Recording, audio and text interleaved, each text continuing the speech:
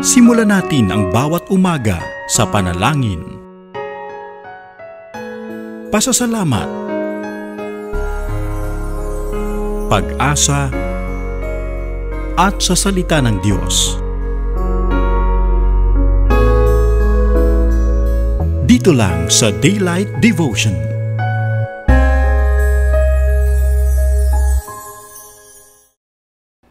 A very blessed morning to everyone sa lahat ng ating ka-daylight devotion. And of course, this morning, I am just so thankful to God to be part of your day. I am Pastor Stanley dito po sa Jesus is Lord Iloilo.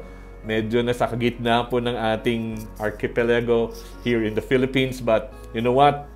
the most important today is that we glorify to get God together. And of course, we would like to say good morning, good morning, good morning po sa lahat ng ating mga kasama, lahat po natin ng mga kaibigan, lahat po natin mga kapatiran na nanonood ngayon. And you know what, as we start uh, the day right, mga kapatid, simulan po natin sa panalangin, sa prayer, and of course, thanksgiving, pasasalamat, at puno po ng pag-asa dahil ang salita ng Diyos dito lang sa Daylight Devotion we will continue to proclaim God's goodness upon each and every one of us. But of course, araw-araw, tuwing umaga, 8 in the morning, uh, mapaki- makikita po dito tayo sa Light TV uh, channel at sa Facebook uh, Live sa Light TV God's Channel of Blessing, Facebook page natin. And of course, Mapakinggan din po tayo sa DWZB 91.1 FM sa Palawan, DZJB 1458 sa Radyo Calabarzon. And I would just like to welcome everybody. It's a blessed morning, a beautiful morning, and we pray that God's goodness continue to move and continue to shower upon your life. Today po, mga kapatid, let's let's discuss something different.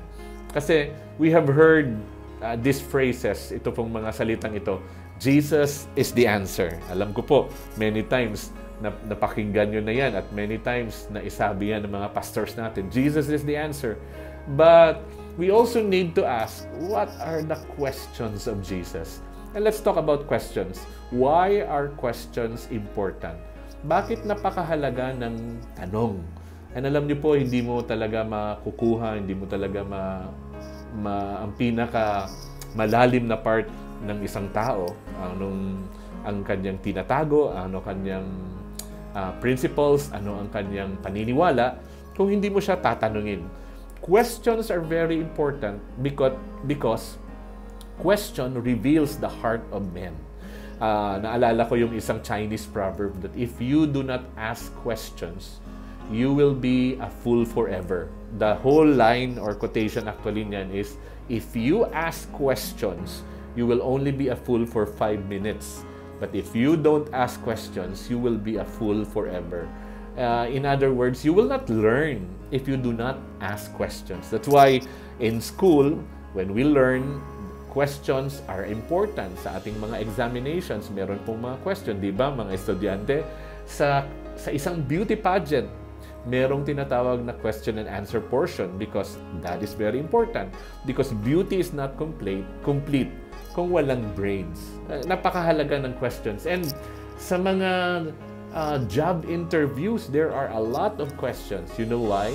Because your skill, your abilities will not be discovered or not known if you will not answer questions. So, napakahalaga ng questions because it reveals the character, it reveals your competency, it reveals what you know. But in this day, in this time, in this hour, as we are discussing this, I would like to ask you something. Have you ever heard or read in the Bible that Jesus is asking question? Na, nakita nyo na ba? Nabasa nyo na ba sa Bible? At alam nyo po, isang araw, I was meditating on this. I was, I was just in the Lord's presence. I was reading the Bible. And suddenly, I know it was the Holy Spirit. And suddenly, the Holy Spirit just put it in my mind, in my heart, na uh, yung questions na tinanong ni Jesus sa mga tao. Some of the questions were asked to the disciples. Some of the questions were asked to people. Some of the questions were like this. Um, why did you doubt? He was asking Peter when Peter walked in the water and then Peter uh, submerged in the water because uh, he heard the winds. He looked around what was happening to the waves and, and he doubted and his uh, instead of co- continuing to walk with Jesus in the water, uh, he's submerged in the water. So, actually, yung, yung, yung term doon hindi lang submerge eh. A fisherman, na napakagaling na fisherman, uh, during that night, during that time, um, he was, he drowned in the sea. And you know what? He said, say, said to the Lord, Lord, save me. Of course, we all know the, we all know the, the next part of the story. But those are important questions. Uh, why did you doubt? And uh, other, uh, other questions that Jesus asked. But today, we will not discuss all the questions that Jesus asked, but we will discuss at least three to four questions that Jesus asked. And unahin, ibibigay ko na po ahead sa inyo. Here are three questions that Jesus asked. Who do you say I am? That is found in Matthew chapter 16, verse 15. Do you love me? This is in John chapter 21, verses 15 to 17. And are you also going to live in John 6, 67? These are three important questions that he asked from several people. Most or all actually of these questions that I chose were asked to his disciples. Tinanong niya sa kanyang mga disciples itong tatlong question. But unahin natin itong sa Matthew chapter 5. This should be my conclusion but I feel that this is very important to ask for everyone today, especially mga ka-daylight natin. Tingnan po natin, sandali lang, dito po sa John chapter 5, this is one of the most interesting question that Jesus asked. And mind you, when He asked this particular person about this question, this person this did not answer directly. Hindi sumagot ng diretso yung taong ito na tinanong ng Panginoong Heso Kristo. This is in John chapter 5. Let's read beginning verse 1. Sometime later, Jesus went to Jerusalem, Jerusalem for a feast uh, for the Jew, for the Jews. And sabi dito, Now there is in Jerusalem near the ship gate a pool in a, which in Aramaic is called Bethesda and which is surrounded by five covered colonnades. Verse 3, Here a great number of disabled people used to lie, the blind, the lame, and the paralyzed. I want to take notice of that. Marami pong naka-standby dito mga nakatambay dito na sila po ay disabled, uh, sila po ay uh, bulag, sila po ay lumpo, paralyzed. And in verse uh, 5, one who was there had been an invalid for 38 years. Imagine this story. 38 long years being an invalid. And when you talk what is an invalid person? If you ask what is an invalid question, that's your question. an invalid person is a person who has been sick for a very long time. Pwede nating tawagin ito complications. Nagkaroon na ng complications sa katawan niya from various sickness and diseases. That's the, the term invalid. Uh, some say when you say invalid, it's very weak, a very weak person dahil sa sobrang daming sakit na naranasan niya na that person become paralyzed. That's why this person answered Jesus his way when Jesus asked. And when Jesus saw him, verse 6, lying there and learned that he has been in this condition, I wanted to look at that. In this condition, paralyzed, invalid, cannot move, very hard na po ang kanyang situation. Ano pong nangyari dito, ladies and gentlemen? When Jesus saw him lying there and he learned, Jesus learned that he had been in this condition for a very long time. He asked, Do you want to get well? Ito po ang tanong ng Panginoong sa Kristo. Do you want to get well? Alam ko, meron akong three questions that I, I said kanina para sa ating lahat. This should be answered individually.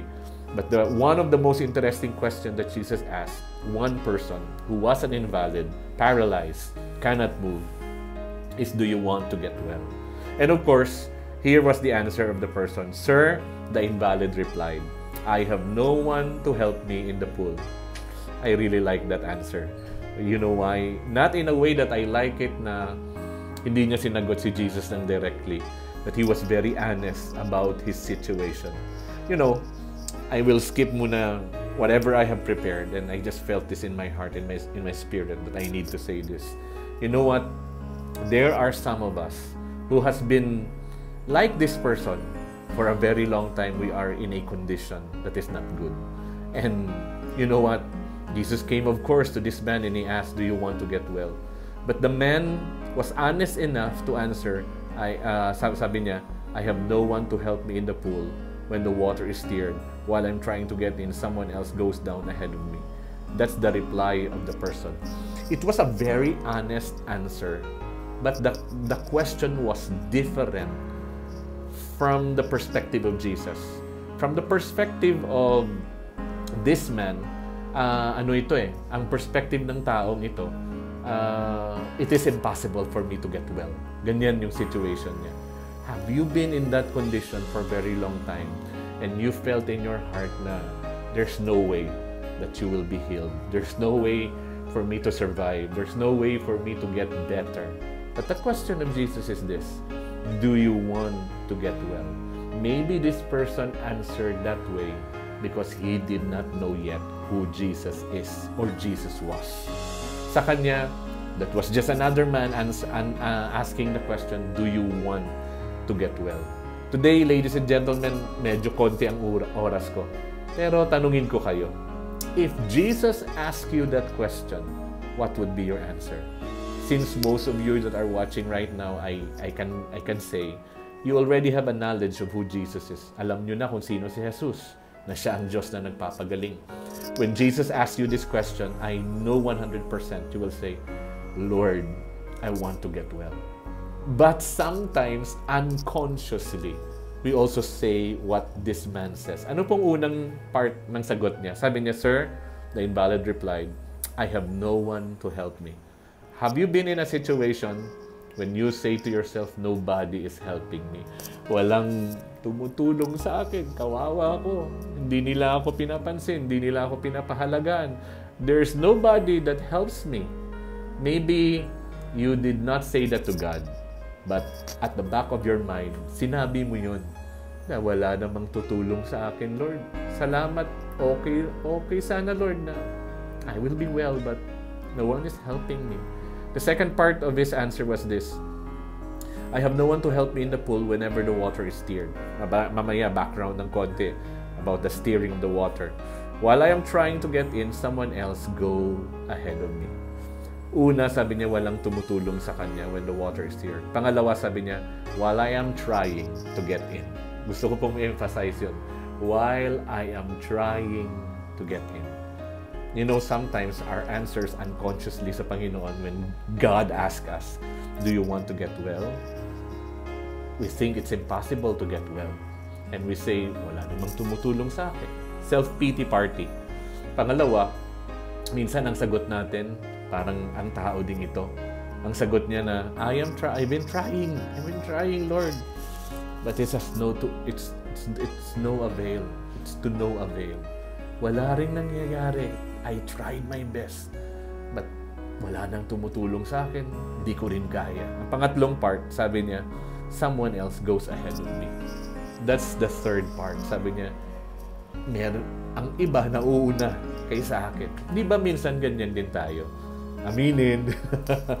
Nahihiya naman tayo, pero sa totoo lang, minsan ganyan-ganyan talaga tayo. Na God is willing to help, but we look at our condition. It, I have been here for a very long time. Nobody's helping me. I tried my best, but nothing is happening. And then, someone else goes ahead of me. We're, we're looking in a situation na mas may magaling sa akin, mas may marunong, uh, yung iba, mas may ganyan sila, may pera, etc. Okay na lang na ako na nandito ako sa ganitong situation. Today, ladies and gentlemen, this is the first question that I posted, although this should be the last that I should ask. But I felt in my heart that I needed to minister by the power of the Holy Spirit, of course. That some of us are, have been in a, a very tough condition for a very long time. And we thought na ganyan na talaga, hindi na mababago. Ganyan na forever na ganyan na ang situation natin. I pray today, ladies and gentlemen, that each and every one of us will realize that Jesus is ready to make you well. And that's the first question that I posted because I believe someone out there, someone watching now, nanonood ngayon, that you are like this person. And I'll be honest, sometimes I am also this person. I feel na napakatagal na ng panahon, wala nang pagbabago, ganito na lang talaga ang mangyayari and patuloy na mangyayari. I pray, you know what, it's not always, usually it's the end of the program in Daylight Devotion where when the pastor prays, but I feel in my heart that I need to pray, that we need to pray together. Are you this person that sometimes when Jesus asks, Do you want to get well? Ang dami mong excuses. Ang dami mong reasons pinopost. Panginoon, ganito, napakahirap. Panginoon, I've been here for a very long time. Nobody is helping me. I tried my best. Um, other people gets ahead of me. You know what? Whatever is that specific condition you are in, why not at this point and moment of time, just come to the Lord and say, God, I say yes. I say yes. Even though my mind, my reasons, my reasoning mentality tells me that I, I could not do it, that there's nothing that will make me well. Or nothing that will help my family, nothing will help my son, my daughter in his or her condition. But I've heard your words that this man for 38 years have been suffering for, for this condition. And Lord, you made a way. Lord, here I am today, and I believe that you can make us well. Are you the person? I should pray at the end of this program, but I felt in my heart, ngayon na, this is the time. Can you just come to the Lord today and have faith 1,000% and say, God, I believe your words.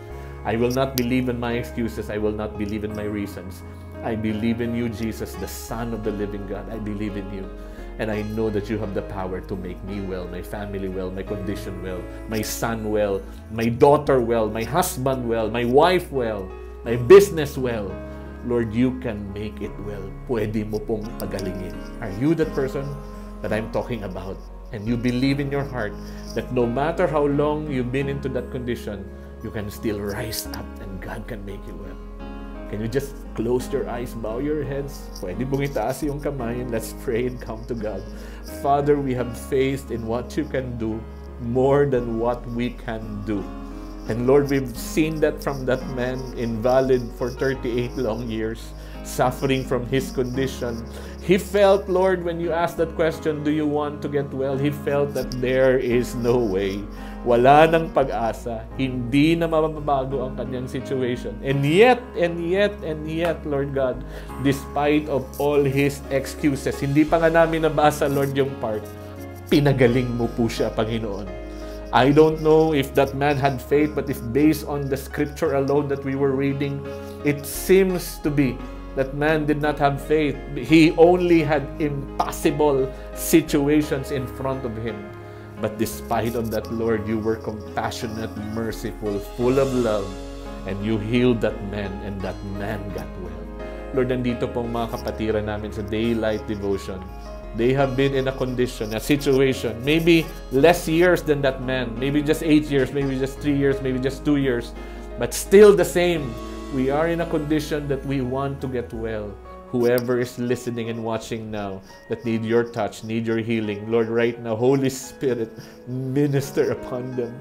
Lord, I pray that you would stretch your miraculous, mighty, powerful hand, have compassion over us, and remove us from this invalid condition whatever is in that invalidity is, Lord God. Invalidity in finances, invalidity, Lord God, in our condition physically, Lord, in relational issues, whatever it is, oh Lord God, move in the life of your people. And I pray in the name of Jesus that you will bring forth your healing power, your healing touch in Jesus' name.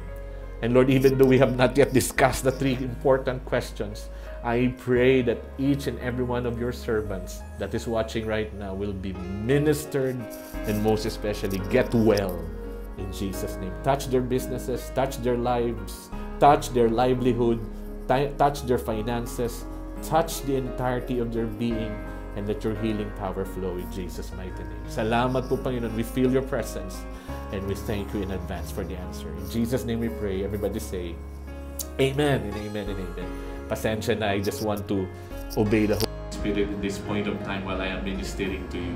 So, let's continue. So, that's the first question. That should be the last question. Do you want to get well? And I felt the power of God moving in you and through you for God's glory. The three questions that I would like to finish, this should be the first three questions that I should ask. Of course, in Matthew 16. I will not talk in detail because medyo mahaba and we have very less time talaga at this point uh, at this point of time. Ang una po is found in the book of Matthew.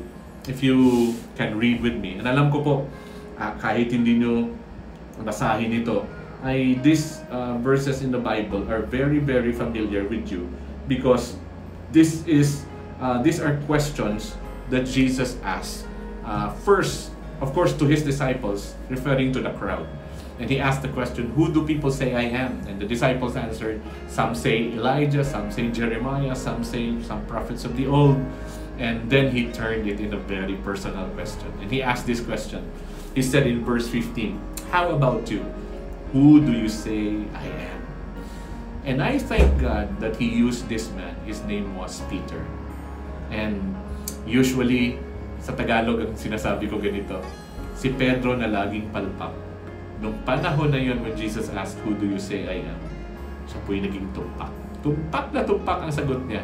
At ang sabi niya, You are the Christ. You are the Messiah in other translation. The Son of the living God. And Jesus told him, uh, Peter, Flesh and blood did not reveal it to you, but it was revealed by my Father in heaven. Ah, pakaganda po. I could teach, preach about that for one hour or more, but we're gonna not we're gonna not take time. You know what? All of us one day will also answer that question. Maybe today, Jesus is asking to you, who do you say I am? Because for some Christians, Jesus is just a helper, Jesus is just a savior, Jesus just is a miracle worker, but he's not Lord and really God. He is not everything. I pray when Jesus asks you, Who do you say I am? You will answer him directly from the Bible. You are the Messiah. When you say the word Messiah, the anointed one, you're the one who brings healing to me. You're the one who preaches good news to the poor. You are everything to me. Number two question Do you love me? This is my favorite chapter in the Bible, John 21, because Peter and the disciples went back fishing. But when they went back, Jesus was there, cooking for them, you can read it in John chapter 21. And of course, he asked Peter, Do you love me? Do you really love me? More than this, three times he asked. Sometimes something very painful for Peter because he denied Jesus three times. You know what? You and I will also be asked by Jesus, Do you really love me? Mahal na mahal mo ba talaga ang Panginoon? Or parang okay, okay lang. I pray that your answer, Lord, I really love you from the depths of your heart. Last but not the least, are you also going to live in John 6.67? Marami pong mga disciples when Jesus preached the word, I am the bread of life, he who partakes of me shall have eternal life. And you know what? They were somehow disappointed. Napakahirap ng teaching ni Jesus. Maraming struggles, maraming trials na darating sa buhay natin. But this is my prayer, that you will continue to hold on. You will continue to be strong in the Lord. That no matter whatever happens, you will never turn your back from the Lord. That you will be one of these disciples, the 12 disciples, when Jesus asked, Are you going to leave? They did not leave. And even in another chapter, Jesus, uh, uh, the disciples said, Lord, where shall we go? You have the words of eternal life. Today, mga ka-daylight, ako po ay nagpapasalamat na tayo po ay nagkasama-sama. Kahit sa ilang minutos po na nagkasama tayo. I pray that when Jesus asks, you will answer properly. You will also be honest with him. You know, that man said, it's impossible. Paraphrasing, parang imposible na ang nangyayari sa kanyang buhay, wala ng pag-asa. But you know what? At the end of the day, this man was healed. And Jesus asked him, do you want to get well? Because of the compassion, the love of the Lord Jesus Christ. And God did not want him to suffer long enough in that condition. Today, church, I pray dito po sa tatlong question. Who do you say I am? you will know for yourself who really Jesus is to you. Number two, do you really love me? Do you really love the Lord, your God, with all your heart, with all your soul, with all your mind, and with all your strength? Or are you just a Christian because parang okay lang maging Kristiyano? No. Know now that your love counts. It's very important that you say it with all your heart and live it up that you really love the Lord. And last but not the least, are you going to live? It's a question of commitment. I pray that each and every one of you will stay with the Lord forever and will commit yourself until Jesus comes back. I will be 1000% holding on to the Lord. The Lord bless you and keep you, make His face shine upon you, grant you peace and favor, and bless your family and bless everything that you've got. Salamat po sa panahon na nagkasama-sama tayo dito po sa Daylight Devotion. And once again, this is Pastor Stanley saying God bless you and God bless your family. Simulan natin ang bawat umaga sa panalangin. Pasasalamat Pag-asa at sa salita ng Diyos. Dito lang sa Daylight Devotion.